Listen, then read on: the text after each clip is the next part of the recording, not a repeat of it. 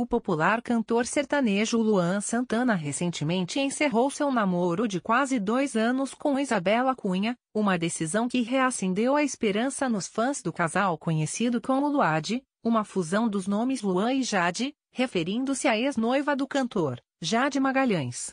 A separação entre Luan Santana e Isabela Cunha parece ter sido influenciada pela reaproximação de Luan com Jade Magalhães.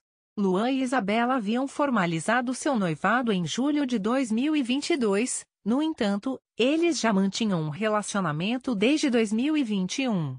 O cantor havia terminado seu relacionamento de 12 anos com Jade em outubro de 2020, mas provocou reações empolgadas dos fãs ao compartilhar uma foto da ex-noiva no Dia Internacional da Mulher em março.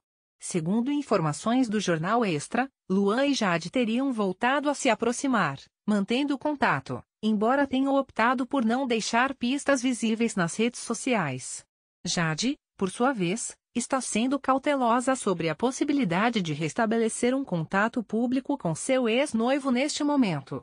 É importante notar que, mesmo após iniciar seu namoro com Isabela, em novembro de 2021, Luan Santana mencionou que gostaria de manter sua conexão com Jade, declarando que a acompanhava no Instagram e que gostaria de conversar com ela.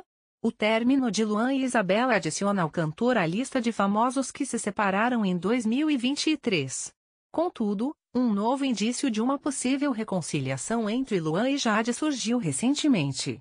Jade postou uma mensagem um tanto quanto misteriosa em seus stories do Instagram dizendo: A vida sempre te oferece uma nova chance. Isso se chama amanhecer.